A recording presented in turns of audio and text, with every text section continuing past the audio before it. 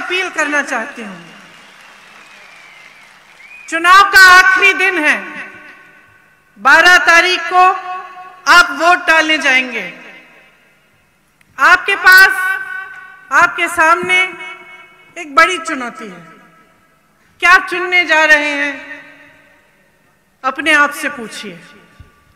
क्या सिर्फ़ आप दो राजनीतिक दलों के बीच में चुनाव करने जा रहे हैं? कि हम इनको चुनेंगे या उनको चुनेंगे? या आप अपने भविष्य के लिए अपना वोट डालने जा रहे हैं? जरा इस बात को आप ठीक से समझिए, क्योंकि इस मंच पर खड़े होकर आपसे कोई भी कुछ भी कह सकता है। आज मैं खड़ी हूँ, मैं तमाम वादे कर सकती हूँ, कोई और आएगा, वो भी कर सकता है। आजकल की राजनीति बहुत बदल चुकी है। एक समय में जब मेरी दादी जी इंदिरा जी होती थी, मेरे पिताजी होते थे तो एक अलग राजनीति थी। यहाँ पे जो बुज़ुर्ग बैठे हैं, शायद जब घर पे बैठकर आप चर्चा करते हैं तो आप यही बात करते होंगे कि दुनिया कितनी बदल गई है, राजनीति कितनी बदल गई है, और कैसे बदली है। इस पर मैं दो मिनट आपका समय लेना चाहती हूँ। देखिए, हमारे देश की जो राजनीति है, उसका आधार कहाँ से बना? कहाँ से उसकी शुरुआत हुई? ये समझना बहुत ज़रूरी है। स्वतंत्रता संग्राम में जब महात्मा गांधी जी ने सत्य की बात की तो एक आध्यात्मिक आधार दिया इस देश की राजनीति को। और हमें गर्व होना चाहिए कि किसी और देश की राजनीति में इस तरह का आधार नहीं था। किस कोई ऐसा आंदोलन नहीं था उस समय जो सत्य के आधार पर लड़ा गया। अहिंसा के आधार पर लड़ा गया। वही हमारी राजनीति की नींव है। लेकिन आज क्या देखते हैं हम? आज हम देखते हैं कि पैसों का बोल, बोलबाला है। झूठ का बोलबाला है। आज आपके सामने खड़े होकर नेता कुछ भी बोल सकता है। कल उसकी अकाउंटेबिलिटी कुछ नहीं रही। उसकी ज़िम्मेदारी कुछ नहीं रही। कभी कहते हैं कि आपके लिए बिजली मुफ़्त दिलवाएँगे, पेयजल मुफ़्त दिलवाएँगे और फिर पाँच साल बाद आपको पता चलता है कि कुछ नहीं हुआ। तो एक माहौल बन गया है। मीडियाबाजी बहुत होती है। आप टीवी चलाते हैं, इश्तिहार देखते हैं तो ऐसे लगता है कि तमाम काम हो चुके हैं आपके प्रदेश में। लेकिन असलियत कुछ और है।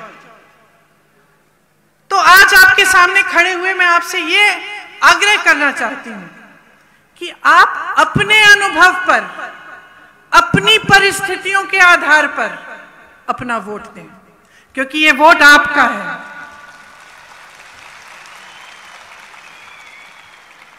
आप समझते हैं कि पाँच सालों में किसने आपके लिए क्या किया? भाजपा के बड़े बड़े नेता यहाँ आए। हिमाचल में मैं देख रही थी कुछ दिनों पहले, उन्होंने कहा कि कांग्रेस आपको स्थिर सरकार दे ही नहीं सकती। आज़ादी से लेकर अब तक सबसे स्थिर सरकारें किसने दी हैं?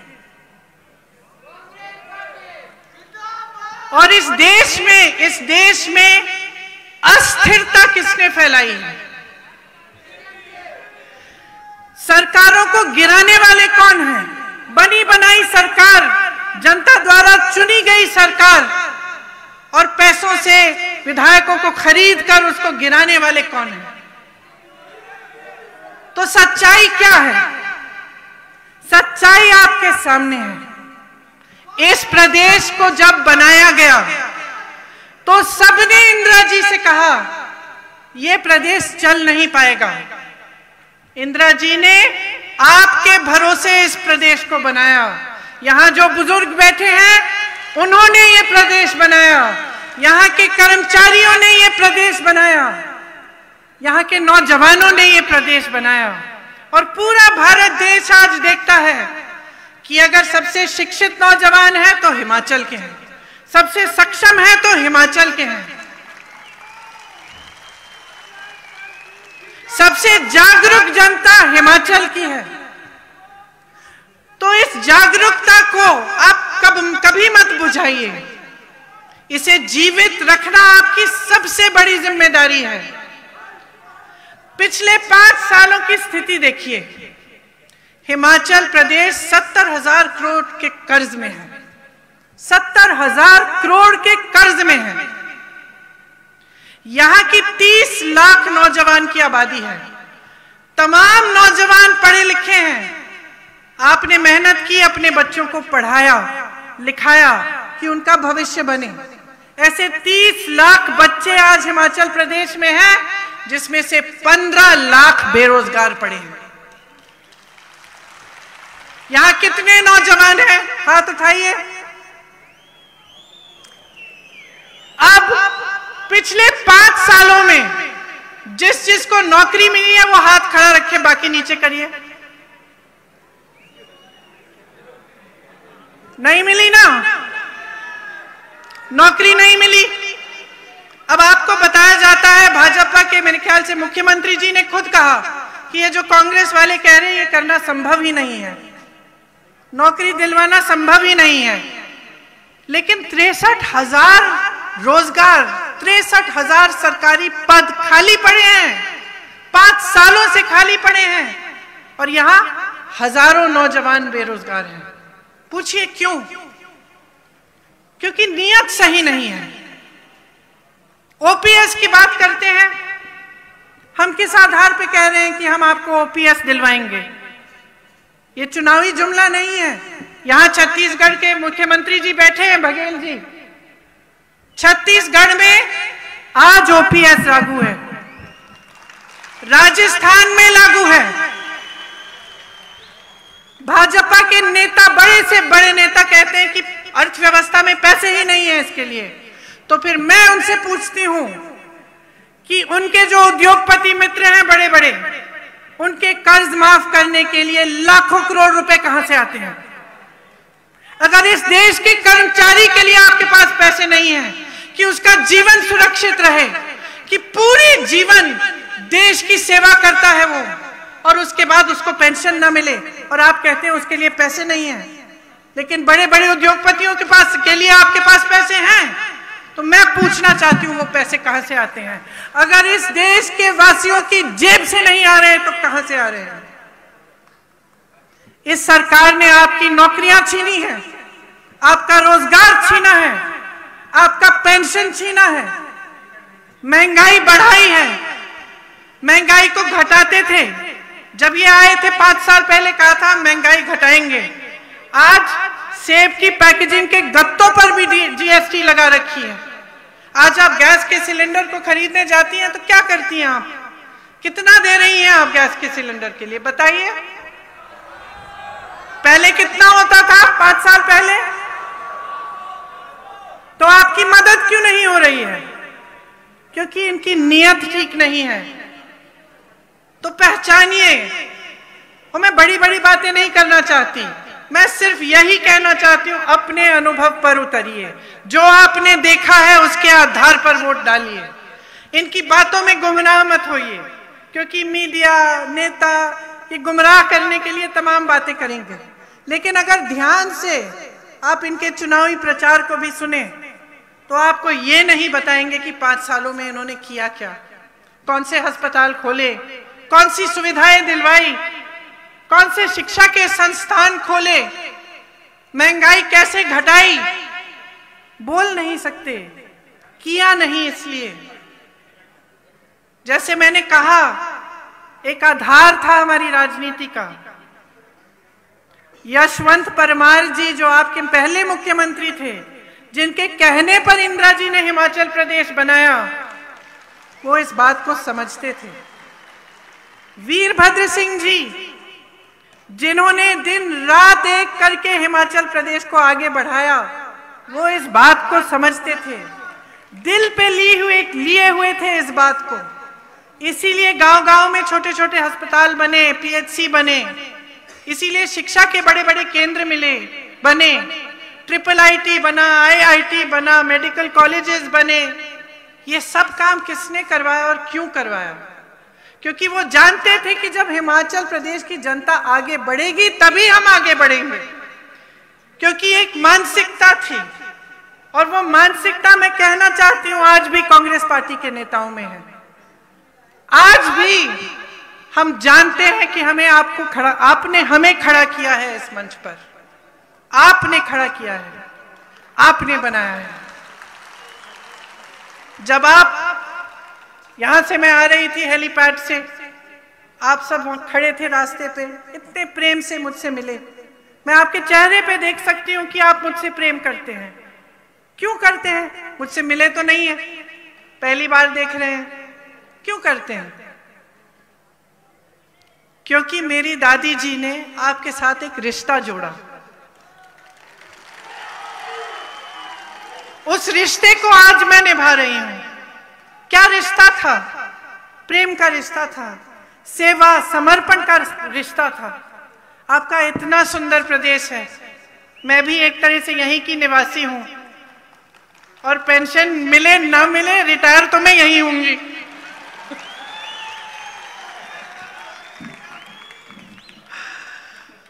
इतना सुंदर प्रदेश है।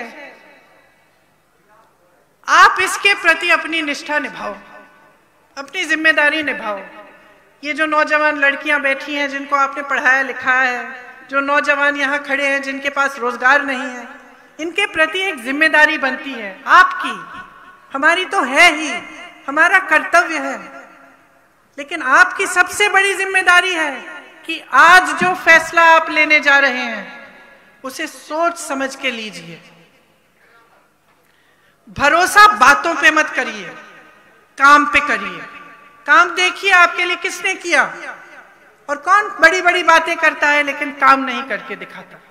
ये बात आप समझ जाएँगे तो आप अपने भविष्य को मज़बूत बना पाएँगे। कांग्रेस पार्टी आज क्या कह रही है, और किस आधार पर कह रही है, ये भी बताऊँगी मैं। हम कह रहे हैं कि महिलाओं को हम पंद्रह सौ रुपए हर माह देंगे। क्यों? क्योंकि हम समझते हैं कि आप पर क्या बोझ है। पूरा समाज का बोझ उठाती हैं आप। आज यहाँ बैठी हैं धूप में। दो तीन घंटे आपके हो गए, घर जाके खाना आप पकाएँगी। सबकी परवरिश आप करेंगी। काम है, नौकरी है तो वो भी करेंगी। ये नहीं है कि नौकरी करके घर आकर आप आराम कर सकती हैं। सब आराम करेंगे, लेकिन आप उनकी देखभाल करेंगे। बहुत बड़ा बोझ है। और किस सहनशीलता, किस शक्ति से हमारी माताएँ, बहनें, बेटियाँ इसको संभालती हैं। पूरे देश का जो भविष्य है आपके हाथों में है, लेकिन आपकी मदद कोई नहीं करता। कोई ये नहीं सोचता कि अगर थोड़ा सा पैसा हर महीने आपके खाते में चले जाए तो आपको सुविधा होगी। कोई आपको सशक्त नहीं बनाना चाहता। जब आपकी बात होती है तो कहते हैं, हम सिलेंडर दे देंगे। एक मिल गया, उसके बाद मिले ना मिले, हमारा प्रॉब्लम नहीं है। कोई ये नहीं कहता कि अपने पैरों पे खड़े होने के लिए हम आपकी मदद करेंगे। कोई ये नहीं कहता कि आपके लिए हम खास रोज़गार बनवाएँगे। कोई ये नहीं कहता कि हम खास महिलाओं को शिक्षित करेंगे, क्योंकि हमारा देश उनका है। कांग्रेस पार्टी ये कह रही है। कांग्रेस पार्टी कह रही है कि जब पहली मीटिंग होगी नई सरकार की मंत्रिमंडल की, तब उसी दिन निर्णय लिया जाएगा कि आपको एक लाख रोज़गार दिए जाएँगे। किसको? ये तमाम नौजवान सेना जो यहाँ पे खड़ी है, आपको, ये आपका हक है। कोई आपको दान नहीं दे रहा है, ये आपका हक है, इस हक को मांगो। हम ये भी कह रहे हैं कि पहली कैबिनेट की मीटिंग में ओपीएस पर निर्णय होगा। आपको ओपीएस मिलेगा। ये आपका हक है। आपने पूरे जीवन काम किया है इस देश के लिए। हिमाचल प्रदेश को अगर किसी ने बनाया तो हिमाचल के कर्मचारियों ने बनाया है। सबसे ज़्यादा कर्मचारी इस देश में यही है, इस प्रदेश में। आपका सम्मान होना चाहिए, आपका आदर होना चाहिए। पैसे कहीं से भी निकालने पड़े, उनको निकाला जाना चाहिए आपके पेंशन के लिए। काटे बड़े बड़े उद्योगपतियों के कर्ज को।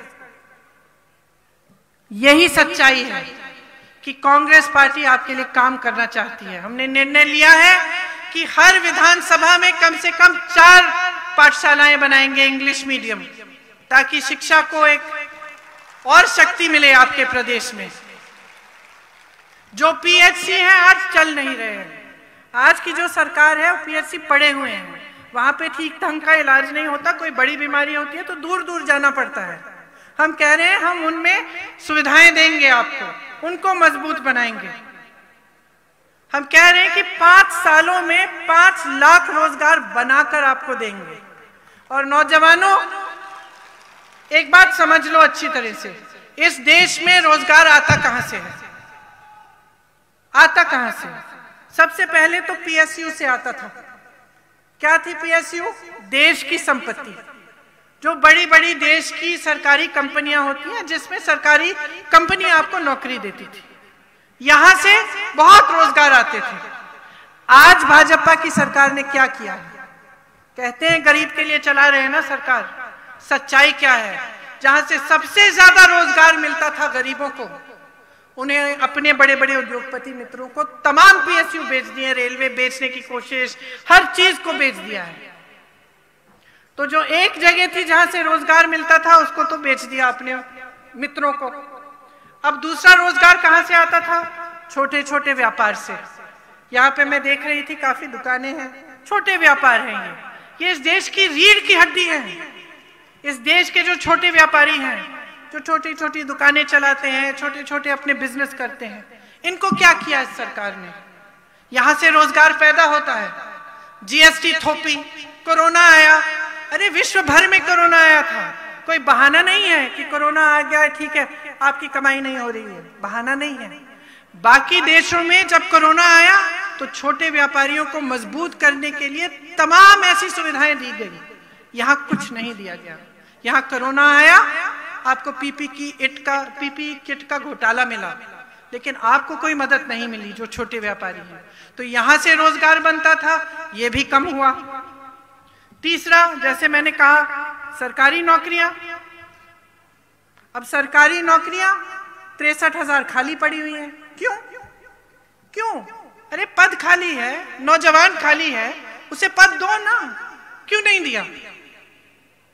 तो ये परिस्थितियाँ हैं, सच्चाई ये है कि अगर आपके लिए रोज़गार बनाने की नीयत होती तो ना पीएसयू बेचे जाते, ना आपको छोटे दुकानदारों को, छोटे जो व्यापारी हैं, ना उनको जीएसटी द्वारा दबाया जाता, या दूसरी जो कोरोना आए तो उनकी मदद होती और ना ये सरकारी पद खाली रहते। तो आगे आप क्या चाहते हैं? अब आप ही मन बना सकते हैं। हम तो आपको समझाने की कोशिश करते हैं, आपको बताने की कोशिश करते हैं। लेकिन विवेक आप में है, हमेशा रहा है। और मेरी दादी जी हमेशा कहती थी कि जनता का विवेक सर्वोपरि है। अगर आपने इस चुनाव में किसी और को चुन लिया तो मैं कहूँगी कि वो भी आपका ही विवेक है। आप सीखोगे अपने अनुभव से। आप देखोगे कि क्या होगा। तो पाँच साल बीत गए। पाँच सालों में आपने देखा, इस सरकार ने आपके लिए क्या किया? आगे पाँच साल आने वाले हैं।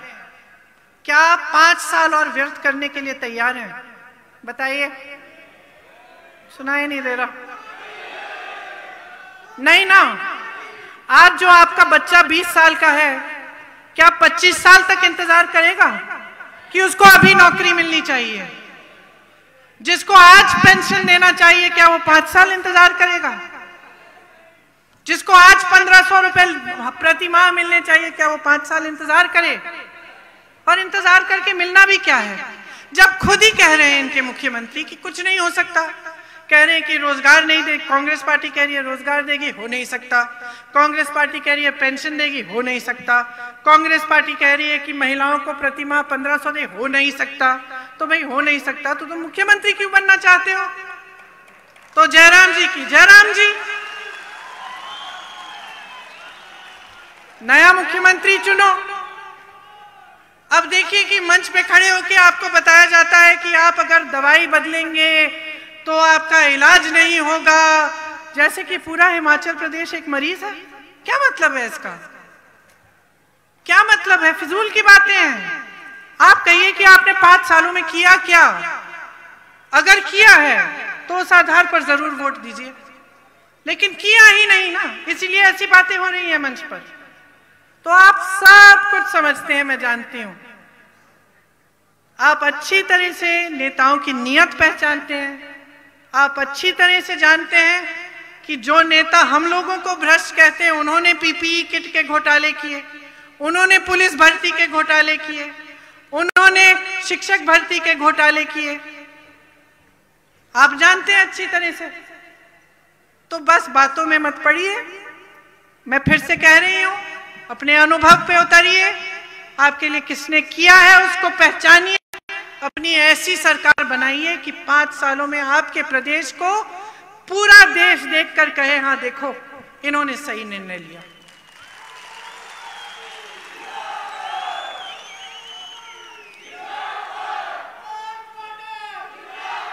भारत माता की, भारत माता की, भारत माता की, किसकी है ये भारत माता? ज़ोर से बोलो, किसकी है? किसका है ये हिमाचल प्रदेश? किसने बनाया ये हिमाचल प्रदेश? इसकी रखवाली करो। इस प्रदेश की, इस देश की रखवाली करो। आपकी ज़िम्मेदारी है, हमारी ज़िम्मेदारी है। मेरे परिवार के सदस्यों ने जान दिया इस देश के लिए। और मैं जानती हूँ कि हिमाचल प्रदेश के परिवार, हज़ारों परिवार हैं जिनके बच्चों ने भी कुर्बानी दी है इस देश के लिए। मैं जानती हूँ। मैं जानती हूँ कि सरहद पे आप अपने बच्चों को भेजते हैं। हिमाचल प्रदेश के तमाम नौजवान आज सरहद पे खड़े हुए हैं। तो ये हमारी ज़िम्मेदारी है उनके प्रति, आने वाली पीढ़ी के प्रति और अपने देश के प्रति।